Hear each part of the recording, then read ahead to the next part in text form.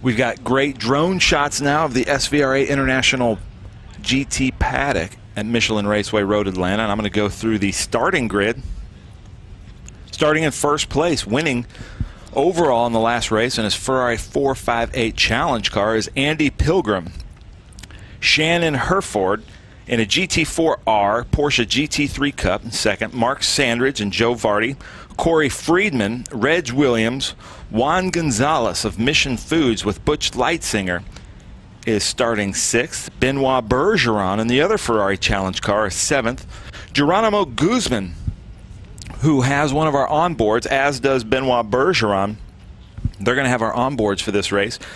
David Tuati, GT 3.8 Porsche GT3 Cup car in number nine. Chris Ruppel is rounds out our 10th. Scott Plunkett, Brian Hicks, Ben Johnston, Danny Lowry, James Hammond, Bill Riddell is 16th, Michael Kiramonte, Bob Wyson, Ted Giovannis, and Hugh Plum is 19th, Paul Mortimer, Mark Mathis 21st, Carlos Dominguez, Michael Williams, Danny Marshall, Jack Gilsdorf, Michael Martin, Pat Heptig at 27th.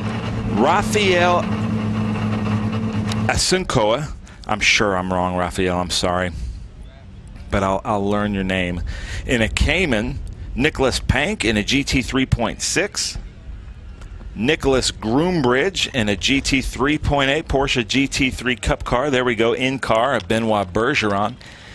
So you can see our beautiful flags flowing. It's a nice day at Michelin Raceway Road, Atlanta right now.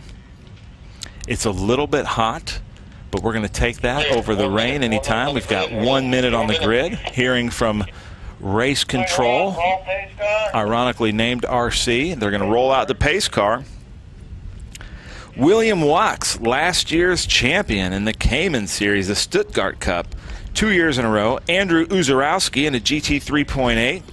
Albert Lukasik, Russell Wittenberg is 34th, Michael Clark 35th, Nicholas Carangellen 36th, Jerome Jackalone, Joe and Joey Sullivan, and Bill Erin at 39th. Now, I did not read the name of Tom Pank. He had an off in the earlier um, practice, got his car back going. I saw him drive to the grid. Tom Pank is usually one of our fastest. In fact, I run uh, the social media, help run the social media with International GT, and our highest viewed video was Tom Pank had to start start at the back of the grid. There he is there in that bright green car. So he's out. Looks like he's going to be starting around 9th or 10th. But he worked his way through the entire field at Sebring, and that video has been our most viewed video. So if you want to go to internationalgt.net, go to our Facebook page and watch that video. Very entertaining. So these are Ferrari Challenge cars in the Maranello Cup. We've got some Ferrari GT3, GT4 cars. Then we've got just a bunch of Porsche GT3 Cup cars. And then in the Stuttgart Cup is the Caymans in the Cayman Series. That car that you're looking at in the Brumos finished livery, that is Mark Sandridge and Joe Vardy. Joe Vardy used to work for Brumos, and he's kind of the co-driver and team captain of the team. So Mark Sandridge made that tribute. And then this is inside that yellow Ferrari of Benoit Bergeron. Just look at the dash. Look at all the information that this is giving you. It's showing you the steering input. You've got the tachometer, the speedometer, then you've got the G-forces load there and that looks like crosshairs from a bullseye. So we're getting some unbelievable images here from Road Atlanta. Michelin Raceway Road, Atlanta. That's our camera at turn six from Greenlight. Greenlight is bringing us our great production. Want to say hi to all the crew that's actually switching this and editing from the Isle of Man. So I have no idea what time it is there, but I think they're up late or super early as we're watching this. And this is Geronimo Guzman's in car. He's with TLM and David Tuati right behind our other car, Benoit Bergeron, that has in car what I like about this view is you can see his hands, bottom left. You can see that he's paddle shifting. You can see he's trying to be in a re relaxed stance, checking his brakes, just working through everything, trying to put some heat into the tires because we do only have one lap under pace. So they're going back and forth trying to put heat into these Pirelli P0 tires. of International GT. Pirelli being one of the marketing partners with International GT. Hopefully in a little bit, Ken Fangler, the principal of International GT, will be up here with me, adding some color and some stories. Mission Foods and Juan Gonzalez is another marketing partner and sponsor of International GT, as he is Speed Tour. You'll see those mission signs there. At the bottom of the left, Interlaken Inn at near Lime Rock Park, another fantastic marketing partner of International GT, as is BRM Chronographs. As they come around 10A to 10B up the hill. The lights are out in the pace car. I've heard from race control, and we're going to go racing. Let's see what Andy Pilgrim can do on Shannon Herford.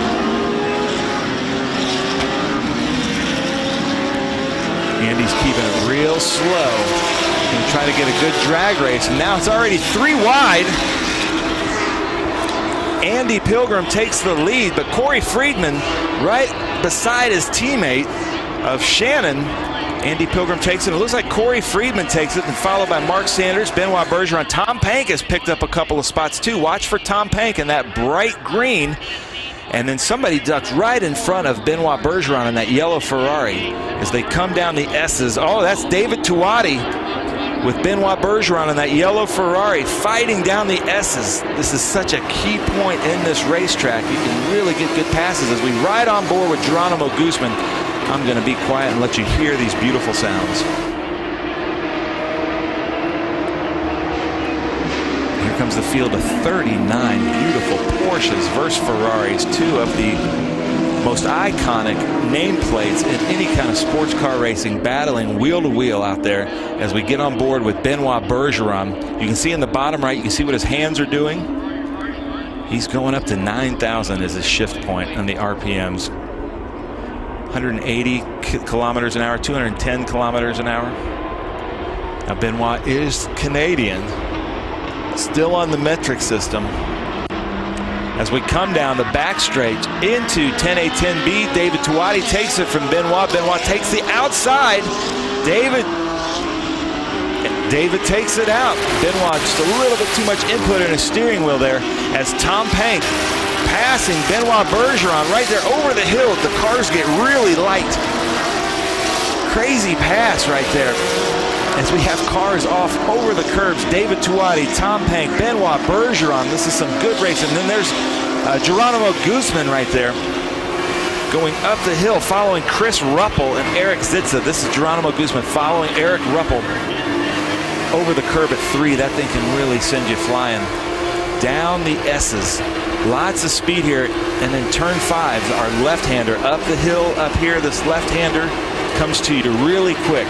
Got to really hit the apex of that or else you're off into that gravel into the right. Set yourself up for turn six. This is the most important part of the track, in my opinion, as they come into six and then they got to carry speed out of seven to set themselves up for that long back stretch. Beautiful cars here. Michelin Raceway Road Atlanta and Michael Chiramonte. We've got Jonathan Green joining us. Jonathan, another fantastic international GT race at Michelin Raceway Road Atlanta. These guys are showing us how it's done this weekend. You know, I just I was just coming over the bridges and I went to the start, and I couldn't believe the size of the field. I've, I've never seen such a huge field of Porsches in one place. It's unbelievable, and I'm so proud of Ken Fangler and Julie Bentley. They have really put together an unbelievable program, and it's basically uh, it's almost like Ken built a race program around the fun, and it's become really good competition. So these guys have so much fun in the paddock. The camaraderie is unbelievable, and it's some of the best racing of the weekends. Yeah, and I can see Ken coming up the hill to come and join us and get amongst it. Short race. They don't get a lot of time. It's a very, talk about a sprint race. If you're going to do it, you're going to do it soon. Yeah. But they also race in an hour and a half enduro with us that yeah. will have a lot of driver changes. So a lot of times you heard me name off two drivers. Yes. So those are the drivers with them. But this is Geronimo Guzman in his Porsche following Benoit Bergeron. Look at these onboards. Unbelievable. You see Benoit get a little bit light. And the cool thing about this is the, the Ferraris have the advantages at some points, and then the Porsches have the advantage of the Porsche should be able to out-handle and outbrake him here. But now the Ferrari, Benoit has to really set up here at turn seven, hard on the brakes, now hard on the gas to try to pull a gap on on Geronimo, but he Geronimo got a better line through there and Yeah, able did. to carry more speed. Really good to see the onboard like that. You really get a chance to see how they get it at the exit of seven, and, And that's look- how it's done, folks. In car to in car. That's some great switching right there by Greenlight at Isle of Man. Thank you very much. It's really good. Really cool images. Benoit, you can see now Guzman is hard on the brakes. Bergeron may have outbraked him just a little bit. And you can see the input into the steering wheel there. Some unbelievable graphics. Good stuff. Coming down that hill, it's frightening, isn't it? How fast it is at the bottom of this hill, past our commentary position.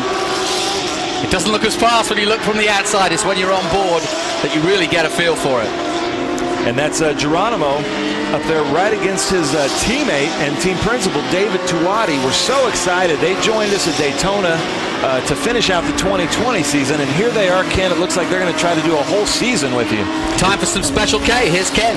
Here we are, back again, and uh, this is a continuation, it looks like, of where we started this morning. So uh, great racing all around the racetrack, and uh, you know, a great field of cars. And so ha- thankful to have these drivers and teams here, and uh, this fantastic coverage that uh, you know you guys have provided here. And the the in-car stuff doesn't get any better than that. There he is. Overtakes his team principal, David Tuati, Geronimo Guzman right there. And Ken, you've just got to be pinching yourself. You know, we've been working together and, and helping each other out now for a couple of years back when the Stuttgart Cup was six cars. And now here you are, 41 cars strong, great field, and potentially the best racing of the weekend. Well, we appreciate that, and as I said, the opportunity. We're, we're at the best racetracks, and as I said earlier, at the right times of the year. And uh, um, you know, it's kind of the time to be discovered. You know, and uh, you know, last year, even even last year was a record year for us. I think people were looking for something to do, and you know, these guys have uh, lots of choices in life of what the other options and opportunities, and there wasn't much they could do, but they they could go racing with International GT, and uh, they came out, and here they are. Yeah, so Shannon here in this number, the, the car in third place. I noticed when he got out of his car at the last uh, winner's podium that he's a member of the drivers club here at Road Atlanta. So which means he probably has a lot of time here and a lot of experience at Road Atlanta. Is, that going to pay off for him here in this race? Yeah, but um, you know, there's there there we have the, the guys who just know this place very well, and then there are the guys that are just intimidated and say, "What did I get myself into when I got here?" This you know this roller coaster of a track. I, I was saying yesterday to someone, uh, all the years I, I did this a long time ago, I never had a good race here. You know, I love the racetrack. It was such a challenge, but I just it was mechanical. It was this. It was that. I just never could put things together to come away with a weekend that I felt satisfied that it was a fantastic race. But it doesn't mean people don't keep trying. It's just Yeah. a, a fantastic place. Well, we talked about that in the earlier groups that I've never met anybody that says they've got Road Atlanta figured out. Have you ever met anybody that says, "Oh, I got this one on lock"? No, no. That I the, the good thing about me is I'm so much older than, than everyone here. Is that um, I talk about the good old days in the dip, and they look at me like, uh, was, "Was that crab or pimento?" And I said, "No, it's a it's that downhill section that used to be, Yeah. you know, uh, Draw a just up straight the line to that bridge." bridge from here. Yeah. and uh, that would be the old course, but they made 10A, 10B, and I think it's increased the. It's probably brought down some of the big accidents, but I think it's made uh, more passing zones too. Yeah, definitely. It's at that technical spot. It was just heroics before, just be- because you were flat out going on a gradual downhill slope, and then you just went. Just when you thought you couldn't go any faster, it, you hit the hyperspace button and you hit the dip, and the G-forces back up, and you just you you prayed and hoped nobody was up under the bridge as you went under faith on faith to aim it up and go under the bridge and down the hill. So it's become a good passing zone and a more technical area, and honestly, you know, probably a bet, one of the better viewing areas, and that's why they have all that grandstand area in that area. Oh, it's unbelievable. Now we ride on board with last year's Maranello Cup champion, two years in a row, Benoit Bergeron from Canada. He's having a great time, but even from Sebring, I said something to him yesterday. He's lost a lot of weight, so that should add a little bit of speed to his Ferrari. Looking good, Benoit. No comment, huh, Ken? Yeah, it's in that. I, I hey, when it comes to weight loss, I'm I'm out. You know, I, I guess I said it.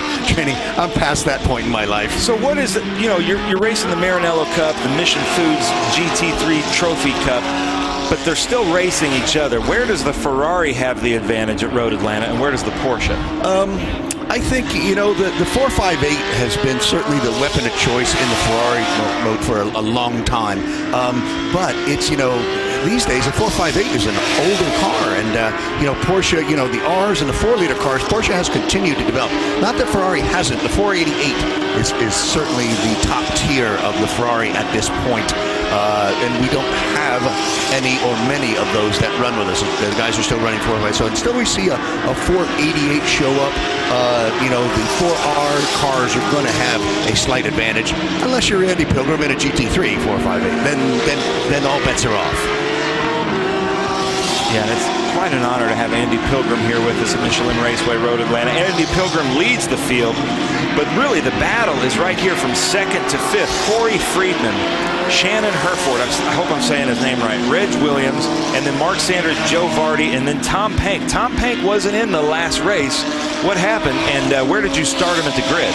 Yeah, uh, well, it wasn't where he wanted to. Okay, that's what I'll say. It's never never far enough up, you know, for Tom.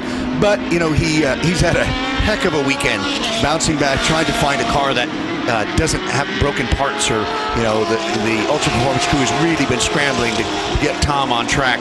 And he landed here in the 4R car. Uh, he didn't have a qualifying time from race one, uh, which is how they were gridded for this particular race. So uh, uh, I gave him within, within an earshot of his competitors. So I said uh, I, I, I wasn't going to take the race totally away from him but uh, he's going to have to earn it, and he's done that. He's he's up with his his 4R competitors, and and so he's having a good race. So there he goes. Reg Williams and Mark Sandridge there. Mark Sandridge in that Brumos tribute car after his teammate Joe Vardy, who worked for Brumos. But man, this is quite a battle right here. Who, who are you giving it to right now if you were on DraftKings with this race? Uh, yeah, this that, that one right there is a is a is a toss up, you know. And uh, Joe drove that Brumos car.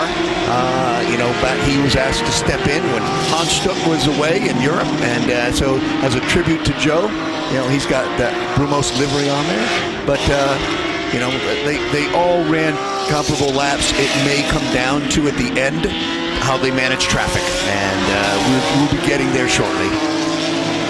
Yeah, there's some lap traffic here in the Stuttgart Cup, it looks like. And that's quite uh, that's sometimes there's some luck involved with that of where you can catch the traffic and almost set a pick between you and your opponent, somebody that you're racing with really quickly. And the uh, I did hear Andy Pilgrim got out of the car at the last race and said he really appreciated how much people in International GT watch their mirrors.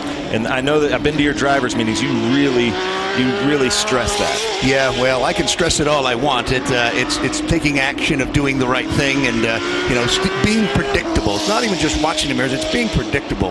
And uh, you know that means staying online and holding the course, so to speak, and don't be over courteous. You know, I mean, uh, you know, we see that often again. And I, I always say that when there is miscommunication and instant on track, the first two words I hear from drivers is "I thought," and that's where it starts. All goes wrong.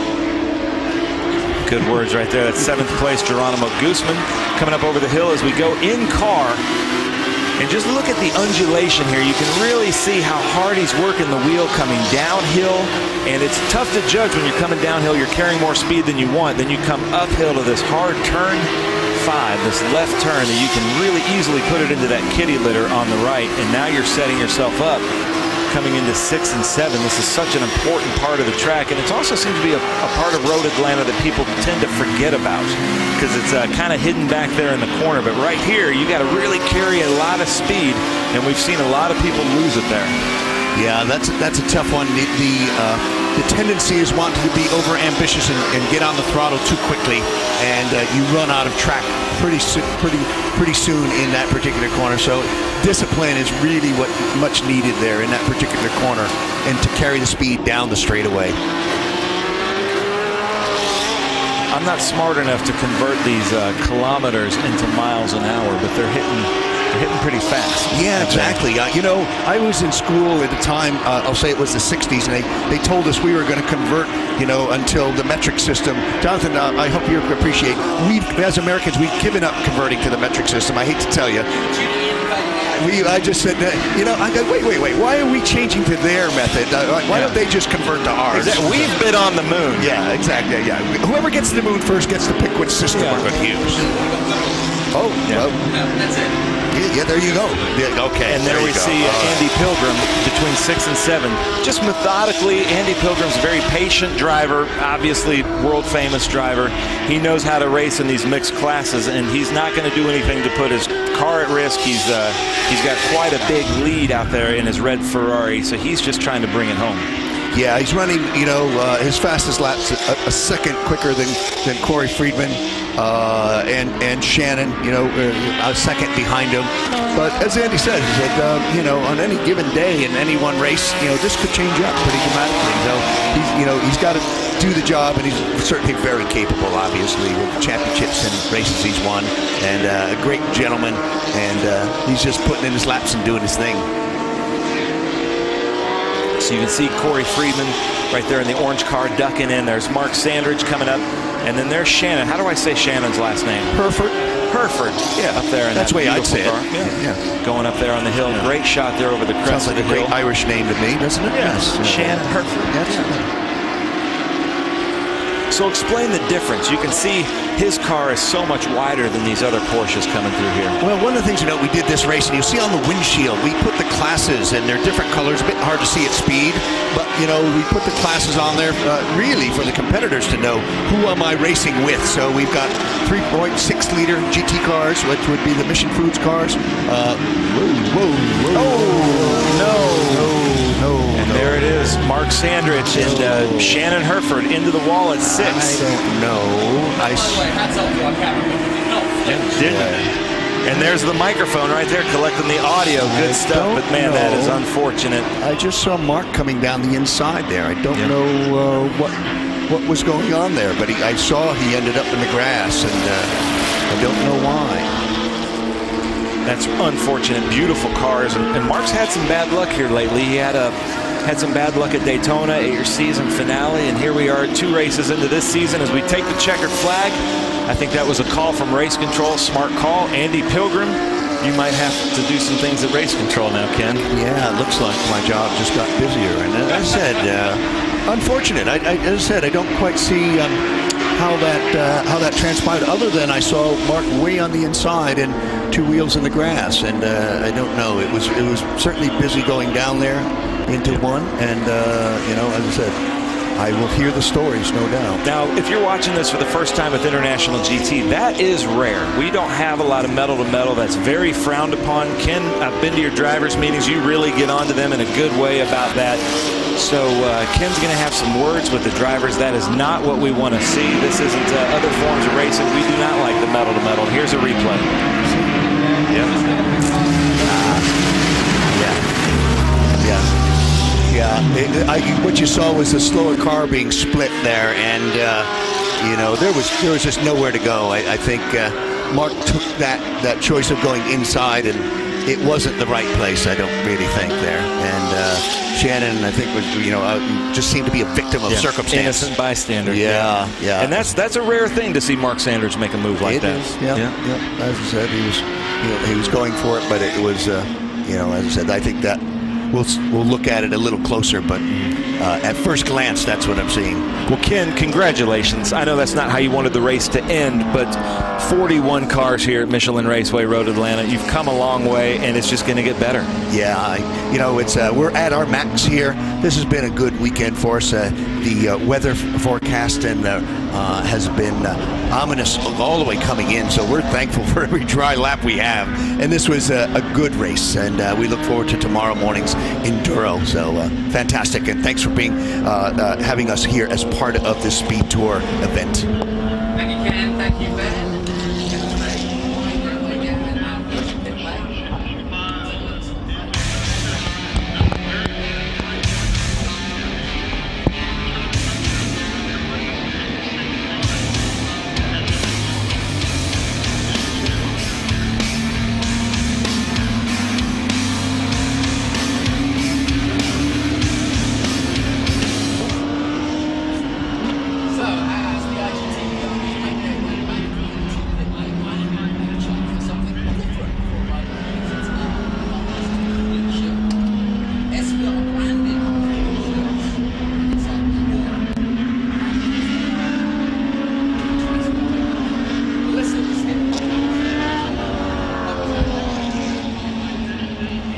Then, here comes Melissa with our fast cooling shirt. Should we say fast cool shirt or fast cooling shirt? Does it make any difference?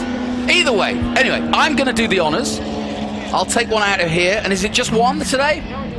We're doing five. Oh, now we're now gonna make. Let's make people happy. So the first one, I'm gonna get John Fippen to also pick one out too, because he, he's um, he's bored and needs to have another go. George Del Canto wins a cooling shirt.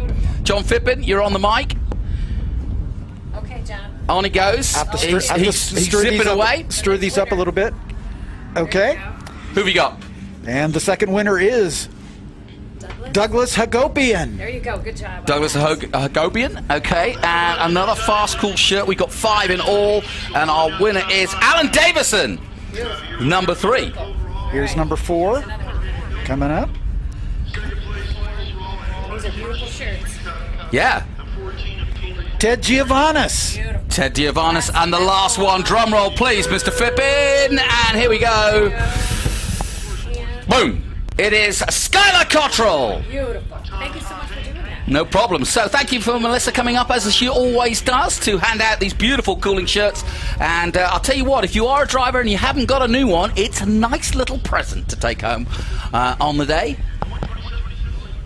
So we may have a little bit of a delay to the schedule as we look across the pit lane and uh, the sun's still shining here at road Atlanta, Michelin Road Atlanta, and uh, what a cracking GT race that was. Mr. Fippin, how did you enjoy that? Uh, didn't see much of it as I was uh, On the podium. I was on the podium interviewing uh, our, our winners from the uh, that cracker of an F4 race that we just concluded. But uh, it sounded good. I understand you had a little incident at the end uh, that brought it brought out the checkers a lap early. Yes, some kitty litter happened, and we'll talk more about that after the break. We'll take a short break here from Michelin Road Atlanta. Join us in a few moments' time.